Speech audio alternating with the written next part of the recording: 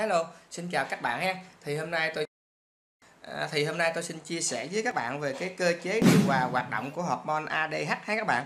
Thì à, hormone ADH hay còn gọi là vasopressin hay các bạn. Thì đầu tiên cái, à, cái hoạt động của ADH này nó liên quan tới cái, áp suất thẩm thấu của mạch máu ha. Chính vì vậy mà đầu tiên à, tôi xin à, à nhắc lại về cái áp suất thẩm thấu là gì hết các bạn giả sử như mình có một cái ví dụ như thế này các bạn. Thì giả sử như có hai cái ly nước bằng nhau thì cái ly số 1 á, ta chế đầy nước. Cái ly thứ hai á, thì ta chế nửa ly thôi. Và mỗi ly á, ta bỏ vào một muỗng cà phê đường bằng nhau. À, như vậy là cái ly số 2 do nó có nửa, nửa ly nước thôi.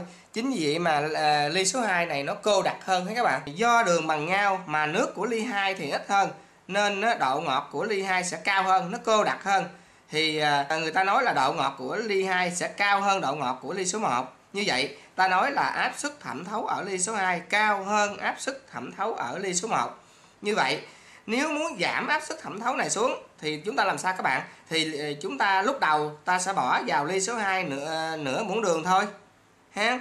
Thay vì ta bỏ hai ly bằng nhau là một muỗng đường thì giờ ly số 2 ta bỏ nửa muỗng thôi thì nó sẽ áp suất thẩm thấu sẽ bằng nhau, ha? Không nào, cao nào thấp hết nhưng bây giờ đường chúng ta đã bỏ tan hết rồi đâu có đâu có lấy ra được đúng không?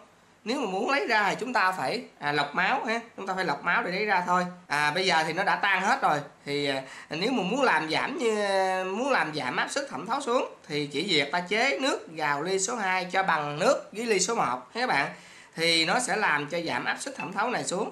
Thì à, đó là cái cách tương tự mà ADH nó tác động lên trên thận của mình khi mà áp suất thẩm thấu trong máu của mình nó tăng lên thì dùng dưới đồi nó sẽ kích thích tuyến yên sau bài tiết ra ADH thì ADH sẽ được tiết ra và nó đi đến ống thận để nó điều hòa hoạt động bài tiết. À, khi ADH nó đi, đi, đi đến thận thì nó thì nó đến chủ yếu ở đoạn cuối của à, à, ống lượng xa và ống góp. Hay các bạn? Nó tác động chủ yếu ở đoạn cuối của ống lượng xa và ống góp thì nó yêu cầu ống thận tái hấp thu nước trở lại, tức là máu đi đến thận thận lọc đưa nước ra ngoài. Mà bây giờ áp suất thẩm thấu nó tăng cao, nếu nó tắt nó tiếp tục lọc ra ngoài nữa, như bình thường thì không nó giữ nước ở lại trong lòng mạch, thì máu của mình nó càng bị cô đặc hơn nữa.